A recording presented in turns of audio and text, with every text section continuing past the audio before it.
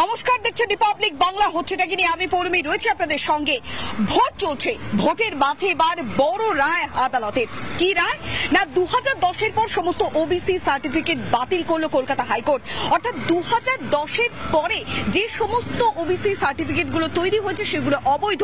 তার আগে, অর্থাৎ দু হাজার আগে যে ওবিসি সার্টিফিকেটগুলো তৈরি হয়েছে, সেগুলো বৈধ। অর্থাৎ দু হাজার পর যে সমস্ত ওবিসি সার্টিফিকেটগুলো তৈরি হয়েছে, সেগুলো সমস্ত বাতিল ঘোষণা করল কলকাতা হাইকোর্ট। আর এর মাঝেই গর্জে উঠলেন মমতা বন্দ্যোপাধ্যায়। নির্বাচনী জনসভা থেকে তিনি প্রকাশ্যে মন্তব্য করলেন, হাইকোর্টের এই রায় মানে না। প্রকাশ্যে মন্তব্য করলেন মুখ্যমন্ত্রী মমতা বন্দ্যোপাধ্যায়, এটা বিজেপির রায়। এমনও মন্তব্য করলেন তৃণমূল সুপ্রিমো মমতা বন্দ্যোপাধ্যায়।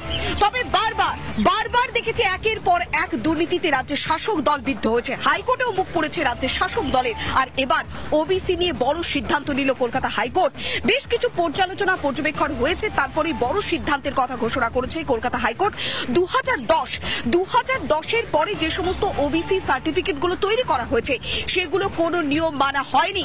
যে সমস্ত নিয়ম মেনে ওবিসি সার্টিফিকেটগুলো তৈরি করা প্রয়োজন, অর্থাৎ আমরা জানি যে অনগ্রসর বা যে সমস্ত উপজাতি বা যে সমস্ত শ্রেণীগুলো রয়েছে, সেগুলোর ক্ষেত্রে বেশ কিছু নিয়ম রয়েছে। সেই নিয়ম মানা হয়নি, সেই নিয়মটাকে লঙ্ঘন করা হয়েছে। তাই দু হাজার দশের পর যে সমস্ত ওবিসি সার্টিফিকেটগুলো তৈরি করা হয়েছে, সেগুলো সমস্তটাই অবৈধ। অর্থাৎ আইন না মেনেই তৈরি করা হয়েছে। আর এরপরেই আদালতের বড় সিদ্ধান্ত, বড় রায়, সমস্ত ওবিসি সার্টিফিকেট গুলোকে বাতিল ঘোষণা করা হয়েছে। তবে তার আগে, অর্থাৎ দু হাজার আগে যে সমস্ত ওবিসি সার্টিফিকেটগুলো তৈরি হয়েছে, সেগুলোর ক্ষেত্রে কোনো সমস্যা নেই। তাই একটা বড় প্রশ্নচিহ্ন তৈরি হয়ে গিয়েছে, যারা চাকরি পেয়েছে। অর্থাৎ আমরা জানি যে সংরক্ষণ, সংরক্ষণটা বড় ফ্যাক্টর এই রাজ্যের জন্য বা অন্যান্য ক্ষেত্রে। এই সংরক্ষণের তালিকায়, অর্থাৎ ওবিসি সংরক্ষিত যে সমস্ত আসনগুলো ছিল, সেই দু হাজার দশের পর সেই ওবিসি সংরক্ষিত আসনগুলোর উপরে ভিত্তি করে যারা চাকরি পেয়েছে, তাদের ভবিষ্যৎ কি হবে? আমাদের সঙ্গে এই মুহূর্তে টেলিফোনে রয়েছেন সিপিএম এর প্রার্থী সুজন চক্রবর্তী। আপনাকে স্বাগত জানাব রিপাবলিক বাংলাতে। দু হাজার দশের পর যে সমস্ত ওবিসি সার্টিফিকেটগুলো তৈরি হচ্ছে, সেগুলো সমস্ত বাতিল ঘোষণা করল কলকাতা হাইকোর্ট। আপনাদের কি বিষয়? বা এই যে ওবিসি সার্টিফিকেট নিয়ে এখানেও তো দুর্নীতি, এখানেও তো রাজ্যের মুখ পড়ল, কি প্রতিক্রিয়া দেবেন? সুজন বাবু